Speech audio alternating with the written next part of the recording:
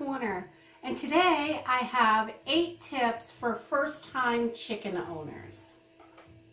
So today I'm going to share with you my top eight tips for first-time chicken owners. So number one, before you get chickens, you're going to want to decide which chickens are right for you.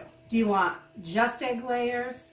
um, ornamental chickens like bantams or like more of a pet chicken? Um, or do you want a meat chicken? Are you going to raise them just for meat? Or are you looking for a dual purpose bird? So that's going to be really important for you to decide what kind of bird to get once you realize um, which ones are dual purpose, which ones are, you know, just for eggs and not, they're all can be eaten, but the smaller chickens are not going to be as worth the time if you're going for just meat chickens. So you're really going to want to decide that before you do anything else.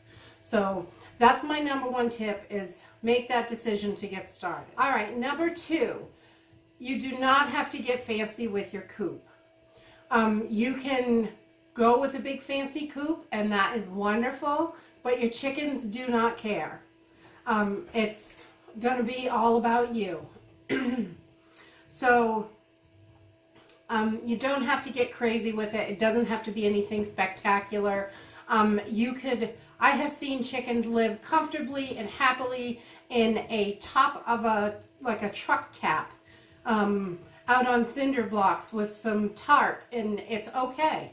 It works good for them. They need something dry so they can get out of the weather and something draft free so they can get and when it's really cold in the winter time you want to keep the draft down. So if they get moist at all um, you you don't want them uh, that draft can cause frostbite and stuff. So you want to be you want to give them plenty of room so they can get around and interact together without if they're too cooped up they'll fight and that's not good. They'll peck at each other, they'll start making each other bleed, and then you've got all these problems.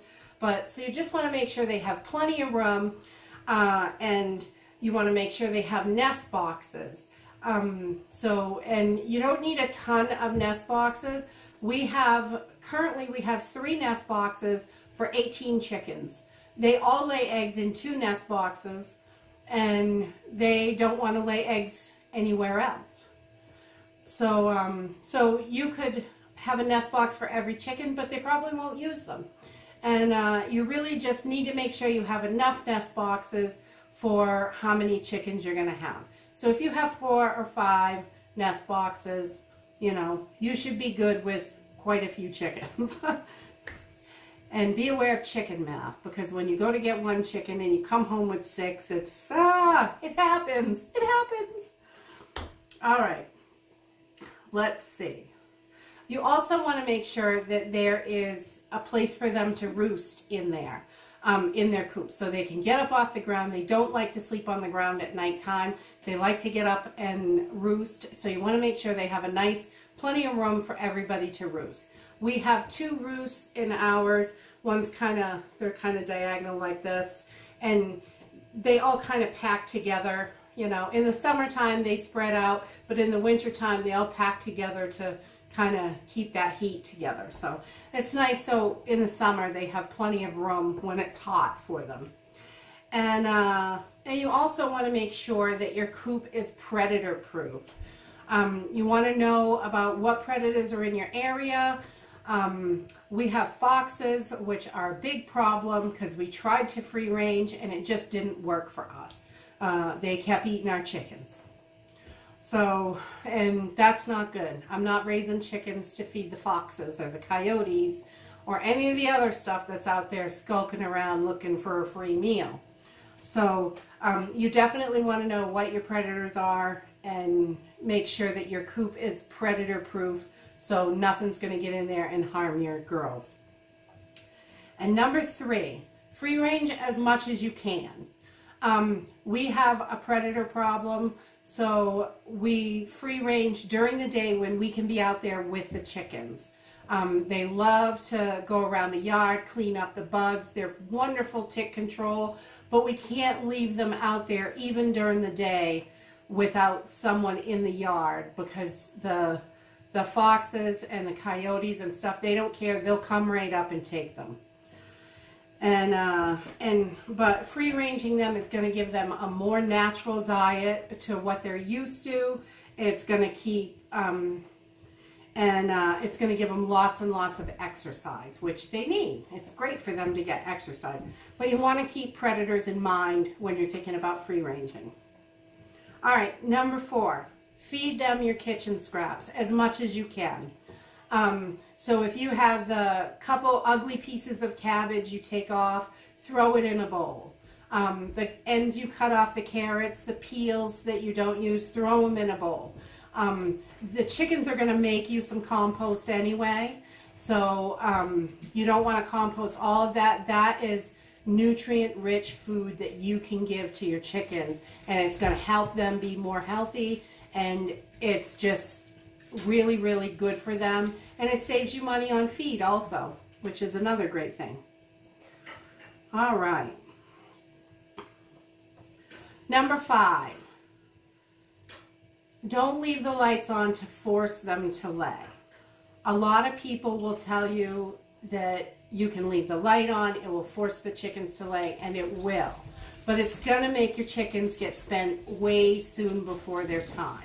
We have chickens that are seven years old that still lay eggs. We go all natural with the lighting. In the winter time, they slow down on laying in the fall and we don't get a lot of eggs through the winter, but we still get a few here and there, and that's okay. Um, we're okay with that. They still supply enough eggs for our family most of the time. I have had to buy eggs in the middle okay, of winter so before. You don't want to leave those lights on for them. They will lay a little bit anyway, and it will slow down in the winter, but that is okay. They need the break also because these girls are egg laying machines in the spring and summer and early fall. I mean, an egg a day. Can you imagine? They need a break too.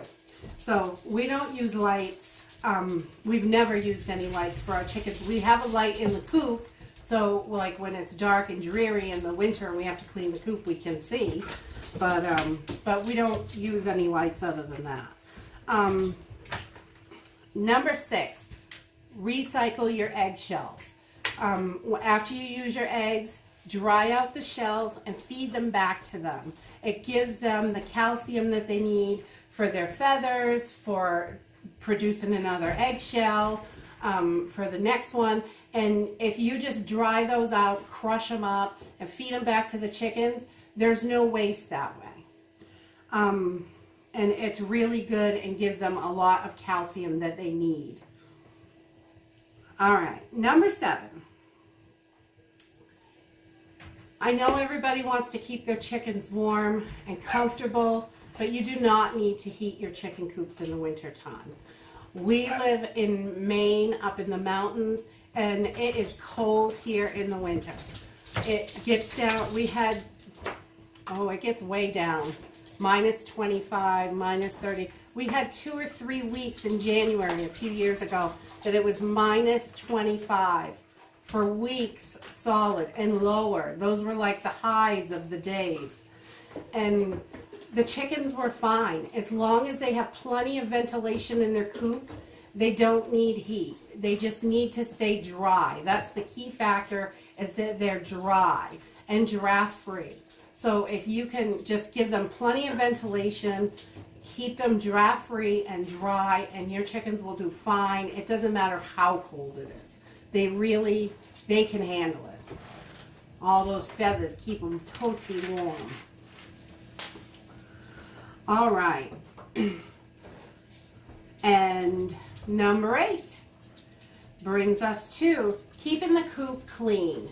That is a key thing. It keeps the pests down. It keeps your eggs clean.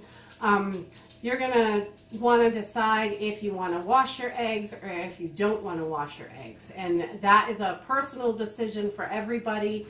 Um, I don't wash my eggs if I don't have to. I, as long as the eggs are clean, they have a natural bloom on them that's going to help them last longer. Those eggs are going to last and last and last and stay fresh as long as you keep that bloom on it.